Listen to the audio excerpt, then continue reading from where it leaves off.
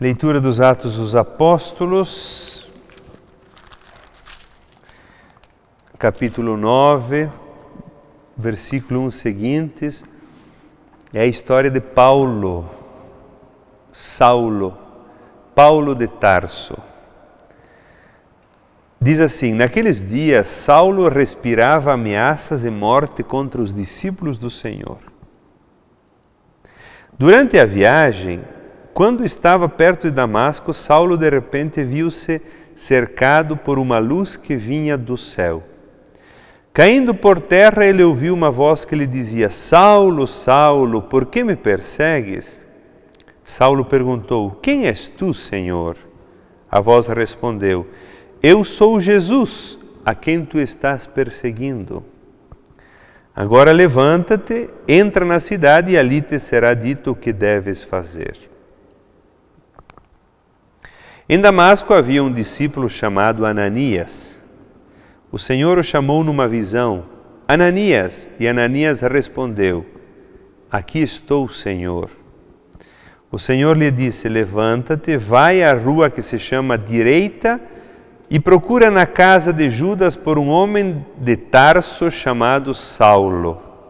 Ele está rezando. Então Ananias saiu, entrou na casa e impôs as mãos sobre Saulo, dizendo: Saulo, meu irmão, o Senhor Jesus que te apareceu quando vinhas no caminho, ele me mandou aqui para que tu recuperes a vista e fiques cheio do Espírito Santo. Imediatamente caíram dos olhos de Saulo como que escamas e ele recuperou a vista. Palavra do Senhor, graças a Deus. Caros irmãos e irmãs, aqui nós temos essa passagem maravilhosa da conversão de Paulo. Paulo era perseguidor, agora se converte ao grande discípulo de Jesus, anunciador da palavra de uma forma maravilhosa. Paulo é conduzido a Ananias aqui na história. Paulo vai até Ananias. Quem é Ananias? Ananias é a igreja.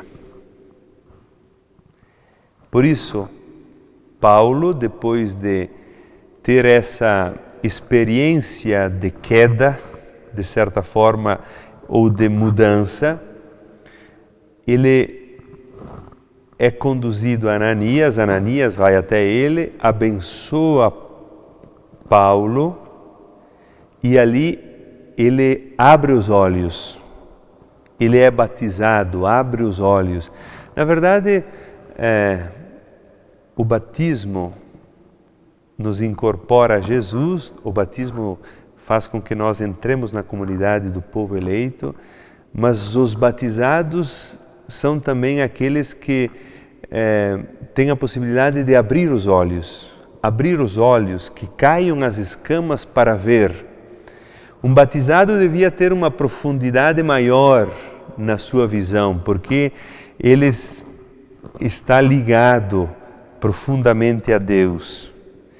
Por isso, aqui, quando nós percebemos Paulo e Ananias, nós percebemos que a nossa conversão passa pela mediação da igreja. A pessoa pode dizer: Eu rezo sozinho, eu vivo sozinho, eu faço a minha igreja, eu não preciso de igreja, não preciso de religião.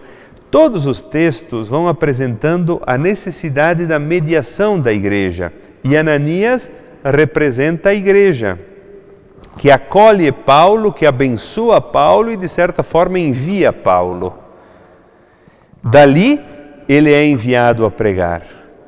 Nós não somos, nos, não nos enviamos a pregar por nós mesmos. Alguém pode dizer: Eu tive um sonho na noite e agora passei a ser pregador, fundei a minha igreja. O outro tive uma experiência e agora passei a ser pregador e fundei a minha igreja. Na Igreja Católica não é assim. A Igreja Católica, todos são enviados a pregar. Ninguém se envia a si mesmo. Eu, como padre, fui enviado por outros, pelo bispo, por outros sacerdotes a enviar. Assim é sempre a dinâmica.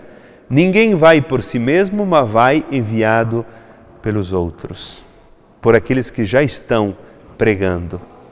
Que nós possamos também anunciar a palavra e nos converter como Paulo fez a experiência.